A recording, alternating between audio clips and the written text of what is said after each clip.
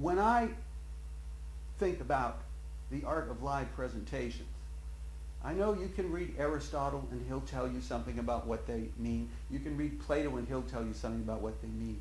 For me, the most compelling definition of what you're going to be doing in probably about 20 minutes time, going about 45 minutes time, is this definition. This is how Socrates, the man who taught Plato and the man who was revered by Plato and Aristotle, this is what Socrates said oratory is. Can we put up that next quotation from Socrates?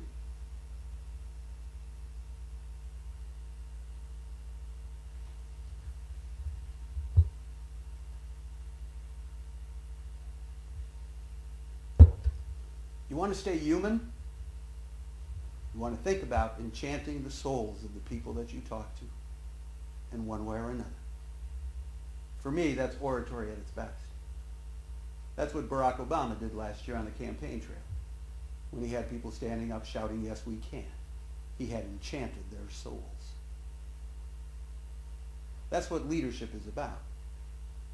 Ultimately, reaching people's souls, reaching their higher centers of understanding, not driving them to react out of hatred, anger, fear, with aggressiveness.